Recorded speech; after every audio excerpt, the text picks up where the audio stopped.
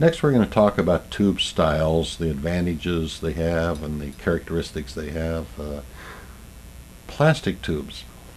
Semi-rigid plastic, like this nylon, is real commonly used. It has some really significant advantages. First, it's cheap, uh, very easy to modify for different lengths. It's available in a huge variety of sizes and colors. The plastic is corrosion resistance. That's really great for saltwater use. Plastic is lightweight. You can create flies that are a lot easier to cast. It doesn't damage the leader. There's no need uh, to put a liner in it, as it were. Now, some plastic tubes are pretty stiff, and they can be directly clamped in your Norvise. Other plastic tubes, like this, this nylon here, we're going to stiffen those up by using a mandrel. Simply place that in there. Now the tube is real stiff, a lot easier to tie your fly in there.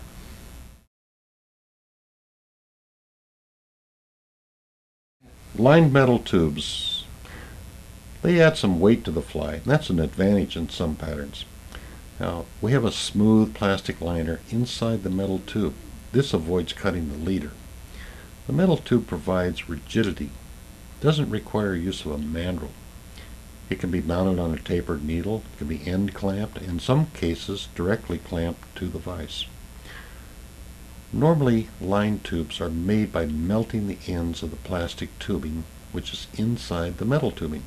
This will bulge or bugle over the ends of the plastic, keeping it in place. Let me show you how that's done.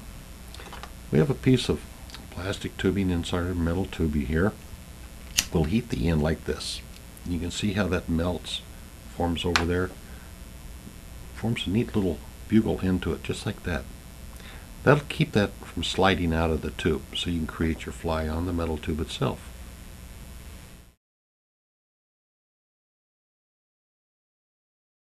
Machined bottle tubes are fairly recent innovation. Now bottle tubes can add significant weight, and they can also create a shape on the fly itself. They're available in a huge variety of different sizes and shapes and materials. You can see here is a few examples. Now, most bottle tubes are machined rather smoothly on the inside and probably don't require a plastic liner to protect the leader from being damaged.